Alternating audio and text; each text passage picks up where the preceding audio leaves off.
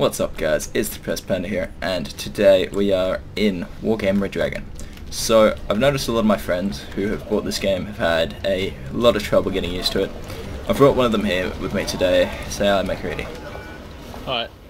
So, um, he is among the newer players of this game, and um, he's had a lot of trouble just getting used to it all, so I'm here trying to, you know, just give you guys the lay of the land, and uh, let you know what to do. So we're starting off with just some basic infantry stuff. So what I've got here is a uh, command Humvee. So what this does, you'll, you'll notice the little star next to it. That means it's a command vehicle. These command vehicles can uh, capture these empty sectors, as you can see around. They're everywhere. So I'm going to drive one of those up, followed by four normal rifle sections. So you can see them here. They are again in, in little Humvees. So these guys often come with short range anti-tank and that is their, you know, their biggest selling point really. They'll fight other infantry but they've got uh, pretty good AT. So we're going to be defending this tiny village so to speak. Um, so the easiest way to do this with, with uh, infantry like this is to place them in the buildings, obviously, but you want to place them in, in specific buildings. So, for example, here we've got this uh, three these three rows of buildings here. So each one of them is a little defensible sector that they will occupy. Out here, you can see uh, pretty much everything. The sight line on this sector here is very big.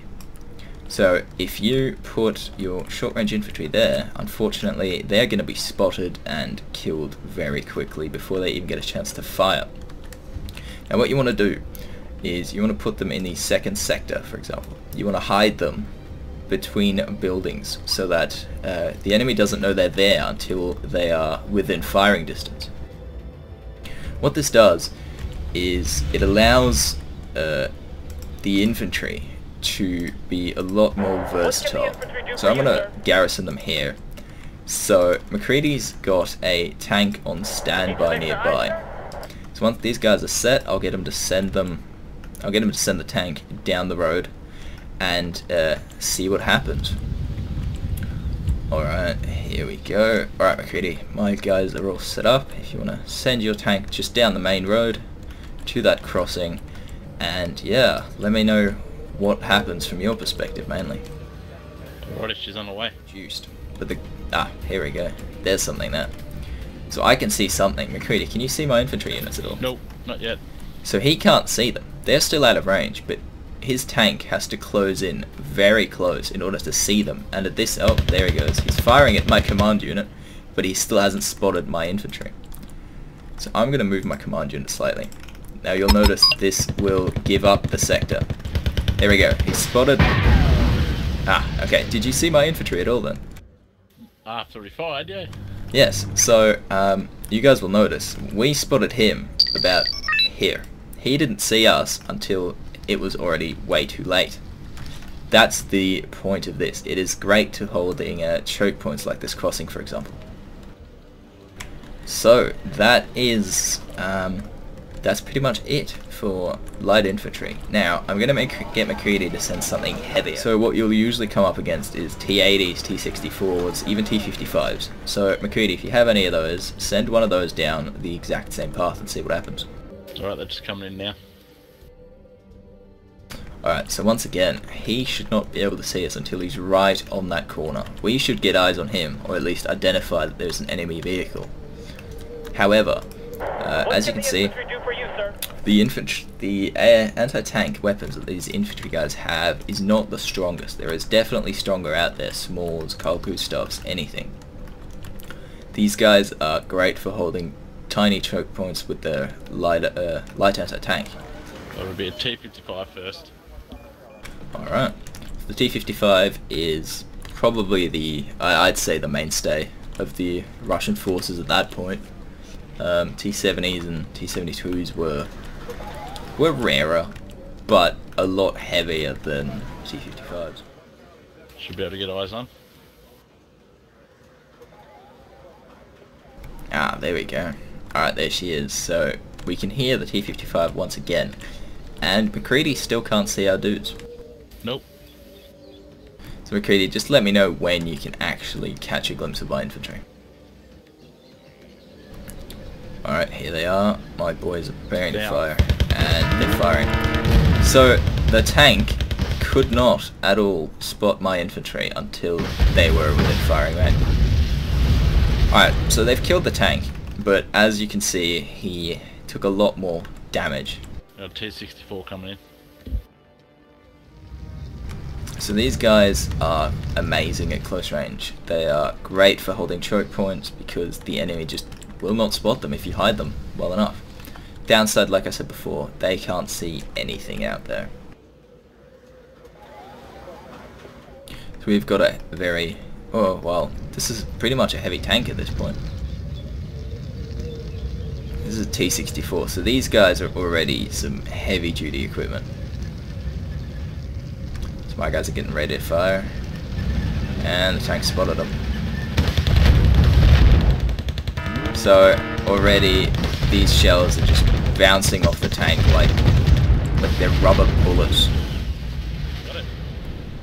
Haha, okay. Alright, if you want to send your last remaining tank in there. Yep, coming in. So already we are down to 6 shots out of 24, but these guys held. Alright, let's see if the T-80 can do any better.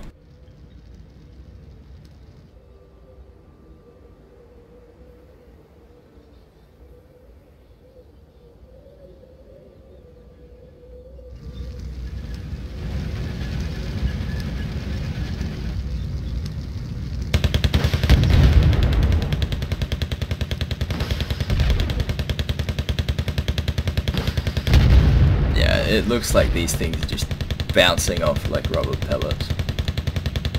No damage to my tank yet. Alright, and they're down to their last round. Will they make it count? Yep. And they're basically dead. Alright guys, so that pretty much concludes uh, your, your basic riflemen. Your, your, these are just your basic riflemen. They've got their M16s, they've got their M60s. Uh, and they'll usually carry some... Oh, and they'll usually carry some light anti-tank. Now, as I showed you, the light anti-tank is great for holding areas. Uh, they'll defend against a lot of tanks. They'll defend against other things, but these guys can't. Very, uh, they can't really flourish in prolonged engagements. They're great for ambushing tanks and taking them out. Um, yeah. So next, we're going to move on to the long-range AT.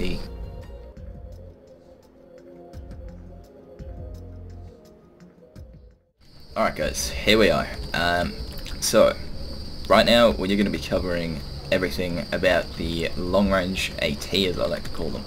These are usually guys, in this case with an ERYX, that come with uh, wire-guided launchers, TOW missiles, lock-on launchers, whatever you want to call them. But they have uh, an insane range, often of more than one kilometer, so these guys profit from the long sight lines. So as I said before, these three sectors are perfect for infantry. Uh, the sector I've currently got them placed has sight lines that span basically this entire area. So anything coming down these paths will get shot at before it even gets a chance to uh, get in the range. So this is basically the exact opposite of what you want to do with your uh, normal rifleman. Your normal rifleman you want to keep hidden, like I said before, you want to keep hidden with relatively short engagement distances, the shorter the better. These guys you want out in the open. The longer the engagement distance, the better. Uh, because these guys have immense line of sight, they will shoot anything before it gets close. So once again, McCready is going to send some tanks down that road and we'll see how they do. Alright, inbound. Alright, so they've spotted the tanks and I've got no eye line of sight on you. Yeah, apparently these guys actually have quite... So this is actually very short range um, when it comes to long range AT. But here we go. One salvo and has basically wiped out all the all these tanks. His tanks never even got into range, so these guys never saw what hit them.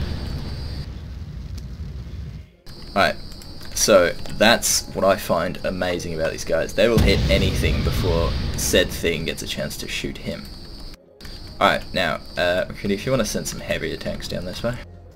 Four T-55s coming. Alright, so here come his tanks. You let me know when you can actually see my units or when your guys are targeting them. Yep. Here we go again. Still not seeing. Still not seeing. Still can't see him. There we go. Alright, there we go. In this case, uh, so these guys basically work by the motto, offense is the best defense. They will shoot the shit out of, uh, pardon my language, they will destroy anything that comes into their range, and they have quite a range. Um, these guys are relatively short with a range of about one kilometer, but you can get ones that fire up to two kilometers, you can get ones that fire even further. Um, the downside is they use a lot of ammunition. Uh, McCready, have you got any infantry standing by? I can get them dismounted and send them towards you. Alright, do that. So, um, I think we've proven these guys have a lot of firepower. They have very heavy anti-tank, and they can fire it at long ranges. Now, their downside usually is they operate as smaller teams. Uh, these guys I have here have some more, a little more infantry. However, they are easily overwhelmed uh, in close quarters. Because as you can see, all they have is their little rifles. They have nothing else except rifles and therefore will be destroyed by most infantry units. So right now they're getting shot, all they have is 20 rifles firing back at BTRs and uh,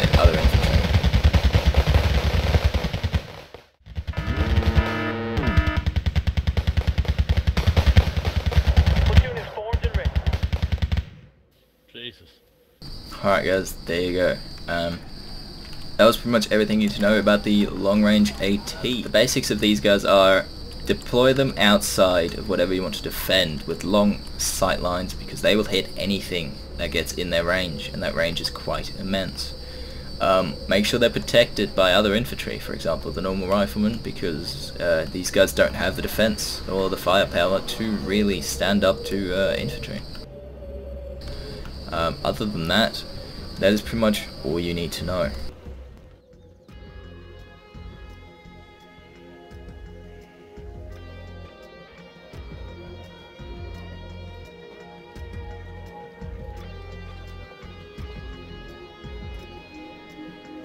Hey guys, we're back and this time we are focusing on the Special Forces unit. So in this case I have the American Delta Force unit. There are others like the SAS, the Spetsnaz, all sorts of units. The beauty about these is they're uh, obviously elite, so these guys will do a lot more damage. Uh, you can also see at the bottom there, they have uh, little skulls next to their icon. That's because they are the best of the best. So they usually carry some form of uh, medium AT, in this case the Carl Gustav M2, uh, as well as normal weapons and uh, machine guns usually. The beauty about these guys is that they can be deployed very quickly, which I will now demonstrate. So these guys, uh, in my case, come with Chinooks. They can also be deployed with Blackhawks or whatever else really comes to mind. So we'll just wait for these guys to get in here. So they can be deployed very quickly throughout the battlefield. Um, and that's good because, uh, well, you can secure any area really quickly with these elite troops. For example, if you put them in uh, any area, they will just basically annihilate almost everything in that area. They are very expensive, however, costing usually twice, if not, in some cases, three times as much as regular infantry. So what I'm going to show you is how to deploy these guys uh, and what to do with them really. And what they can do in, uh, in turn.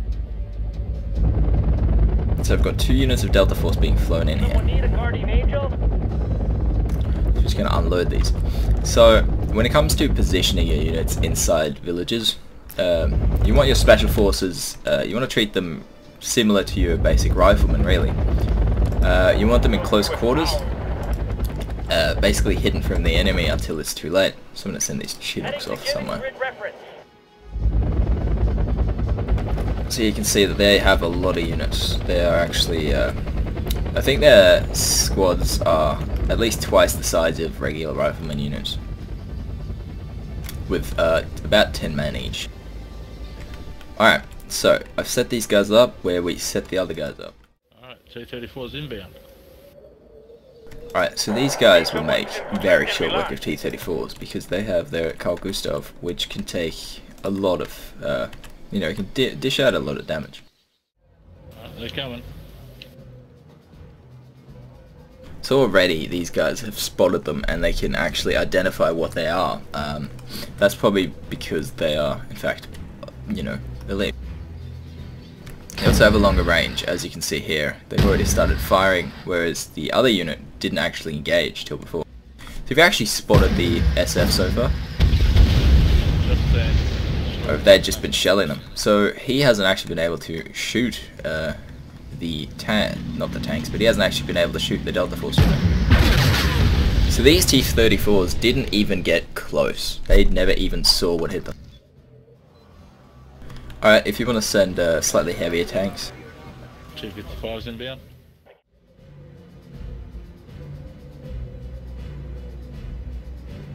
Alright, so already we have, uh, you know, stronger tanks inbound. Now these guys are going to start engaging any second now.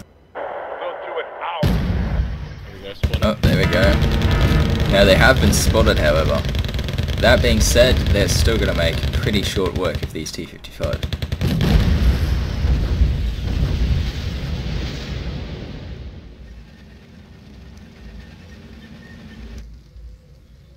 So even when they've been spotted, the Special Forces units are definitely a force to be reckoned with. Alright, um, do you want to send some infantry at those guys? Spot those armored vehicles flanking. Yes, ah, here we go. Here are they, here they are. So, we've got some infantry inbound, and there's a lot of them. They, okay, well, they've disappeared now, because my dudes are blind, apparently. But, uh, so as you can see, there's a lot of infantry incoming. But, hopefully, because these guys are a lot better trained, they should, should, uh, take care of them pretty quickly.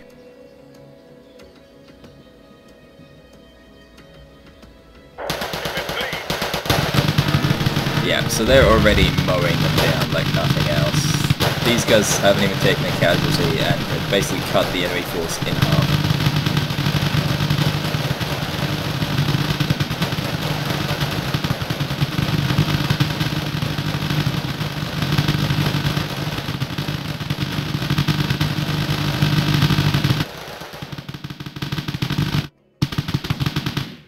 Alright, well guys, as you can see, Delta Force freaking rule. Um, they've taken two casualties and have wiped out 30 or 40 enemy soldiers. Um, so yeah, that is pretty much all you need to know about Special Forces. Deploy them deep beyond enemy territory if you have to, hunker down, and destroy everything.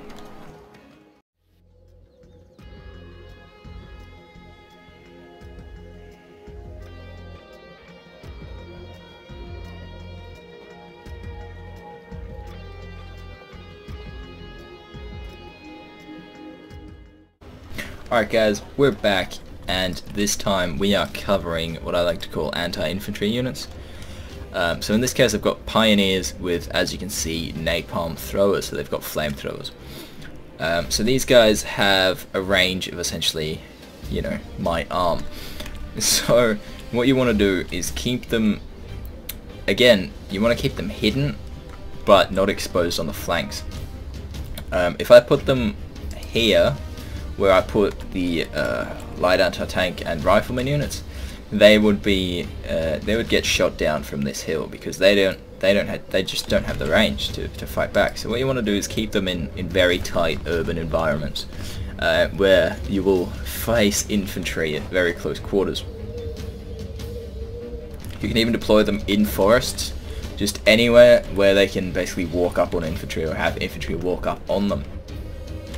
Alright, Creedy, if you want to send your infantry down into that village and just try to take it. Alright. Inbound. Sweet. Alright, my flamethrower infantry, as soon as his units come through this line of buildings, they will be spotted, but at the same time they will be close enough to, you know, literally melt them with their flamethrowers. Alright, so we can already see your units. So as you can see here, the line indicates where I'm aiming. Now the blue uh, filled in part is their range. So they have a range of uh, pretty much that first row of houses. Alright McCready, let me know if and when you spot my guys. Alright. So as you can see, we can see his units, but they can't see us because we're hidden behind this building. So his units are going to move in, even even if they occupy these buildings, uh, my units will torch them because they'll be in really close quarters. Now this unit has a huge flaw that we'll get to in a bit. First off, uh, yeah, we're going to watch the fireworks really. There we go, and my guys have engaged yet? Yeah, yeah, spotted. So he's only just seen my units, but unfortunately for his units, it's already way too late. They're about to be just absolutely destroyed. There we go. So that was two losses versus 80 of their losses. Now, uh, as I said before, this unit has one fatal weakness. So these guys are solely anti-infantry and close quarters, so ambushes inside uh, suburban areas, like here for example. Just uh, chuck them in there. Or if you're holding um, a village that's right next to a, a, forest, put these guys at the edge of the village next to the forest. If anything comes out of there, um, they're going to get toasted. So we've got four immensely, uh, what's the word, intimidating tanks heading our way. I say intimidating, they're driving like they're drunk, but like, I mean, yeah. So these guys are going, oh god, what do we do? And, yeah. Unfortunately, that's the end. They're gonna try and cook the tanks, but it's it's really not gonna do much. Tanks just don't care. We're already down from 40 to 13, and the tanks haven't even been scratched.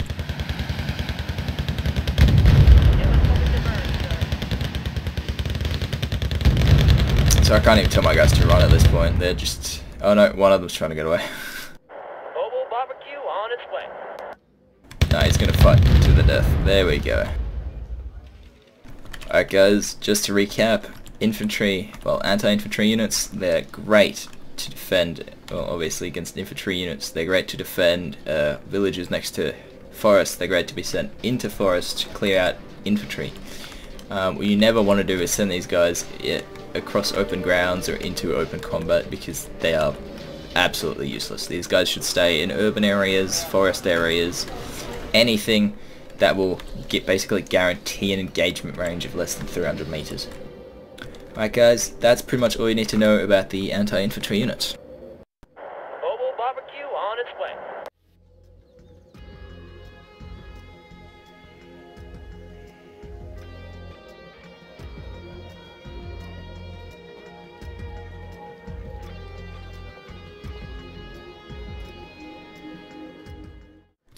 Hey guys, we are back and this time we are looking at the anti-air unit. So in this case I have a javelin. So these these sections I should say come with two units each as you can see down here. So in terms of placement, where do you want to place these? You don't want them on the outside. Definitely not because they can't defend themselves at all. These guys don't need to shoot outwards, they need to shoot up which means it doesn't really matter where exactly you place them. What you want to do is put them here for example, or even at the back. You want them in a central location, but hidden enough so that they won't be engaged as a first point of call, really. Alright, Kenny, if you want to send in some helicopters, we'll test what these guys can do. Alright, they're coming. So most of these guys are heat seekers, stuff like stingers, Iglas, that sort of thing. They'll lock on for a short amount of time, fire, and usually miss, to my experience. Um, There's also the SACLOS variants, which I don't really know what SACLOS stands for, but I'll probably look it up at some point. Um, so yeah, as you can see here, these guys have actually missed. Um, most helicopters will flare to try and avoid this stuff, but at the same time, as you can see here, they just, they will get murdered by AA most of the time. There we go, that's two Mi-24s right there. Um, so like I said, you want to keep them in a central area. Uh, they can also target aircraft, but their aircraft range is significantly smaller to that of mobile anti-air, which we will cover in a different episode. So, um, I've demonstrated that these guys can take on helicopters really easily. Now, other than that, these guys just, they will die to anything. So, McCready's got some simple North Korean riflemen standing by if you want to send those in just to attack them. Yep, they're coming. So these these Koreans, uh, well this rifleman unit, it's honestly the worst of the worst. They are conscripts at best. They are, as you see with the little chevrons here, they are barely trained. They have horrible equipment. They just, it's it's a mass thing, right? They uh, attack en masse and that's how they destroy you. Now, he's sending 40 at us we're not going to be able to defend it. We couldn't even defend ourselves against one section because as you can see here they've got RPGs, they've got assault rifles, they've got LMG. What these guy ha what these guys have um, is two rifles and an anti-air launcher. So here we've got a total of eight rifles. That's all we have. Eight rifles against 40. So these guys won't even stand a chance. If you, picture a, a large dome, they just cover an entire area and keep it safe from anti-air. So, to recap, you do not want these guys in the front lines, you want them protected and hidden in a central location of whatever it is you're trying to protect. They will attack aircraft, but you should use uh, mobile anti-air instead. Alright guys, that about covers everything for the AA infantry.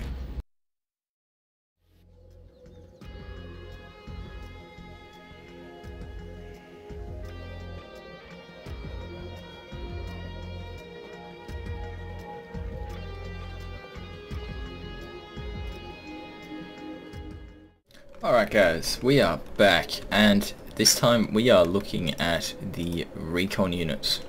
Now, uh, you may be wondering why this is part of the infantry, but I just figured um, it would fit in so well. Obviously, we'll, we'll cover the helicopters in a second. So out here I've got some recce infantry. These are just two dudes with a, a sniper rifle.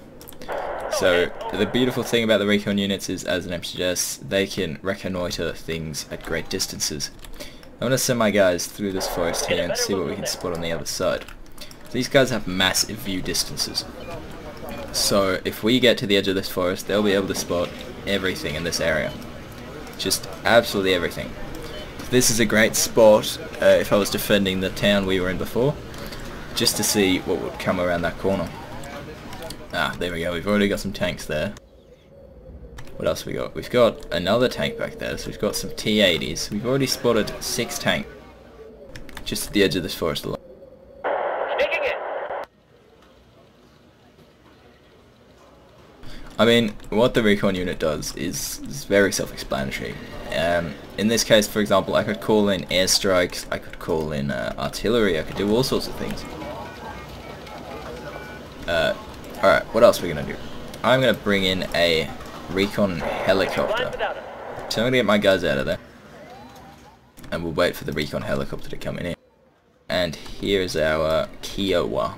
Kiowa, Kiowa, I don't know how to pronounce this. Iowa. Kiowa, that'll do. So, I'm going to put my guy in the exact same position.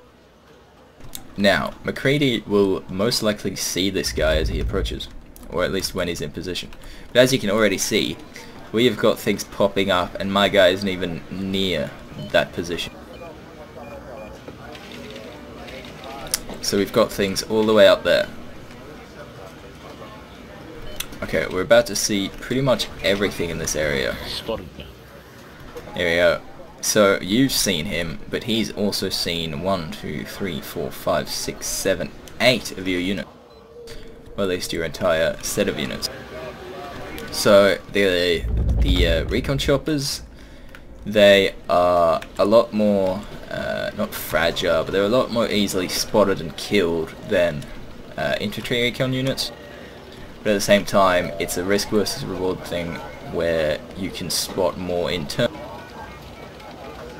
Let's say I was to go back to that uh, hill at Juliet. Alright, McCready, just let me know if at any time you lose visual with the helicopter. Lost it. Alright, so McCready lost the helicopter about here. Now I can still see his T-64s because they're out in the open. Get a better If I fly up there, I can also see his T-80s. I can also see his Mi-26. Can you still see my recon chopper? Yeah, because I've got infantry on Aha, uh, Juliet. see? I didn't even know he had those there. Now, if I hadn't put my stuff there, I wouldn't have seen all these guys. There is a ton of infantry and armored vehicles waiting to attack. So that's the good thing about helicopters. They are versatile, they are mobile, they can spot things from long distances. Yeah. Although the downside is they are also spotted from long distances. Alright guys, that's about all you need to know for recon units. Just to recap, you want to hide them in areas with large lines of sight.